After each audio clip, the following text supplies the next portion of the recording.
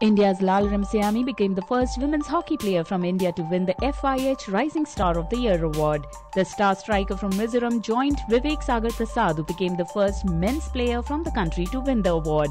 Lal Ramsiami, in an exclusive video, thanked her teammates for all the support and help. The Indian striker also expressed her gratitude towards Hockey India and the coaching staff of the team. सबसे पहले God को मैं thank you बोलना चाहती हूँ। इन्होंने यहाँ तक मेरे को पहुँचाया। और मैंने 2011 से हॉकी खेलने का शुरू किया थेंजोल हॉकी एकेडमी मिजोरम से।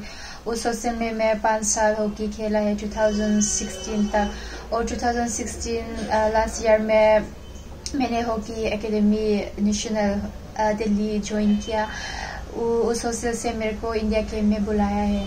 अभी मैं आर सी एफ़ कपूरथला में काम करती हूँ।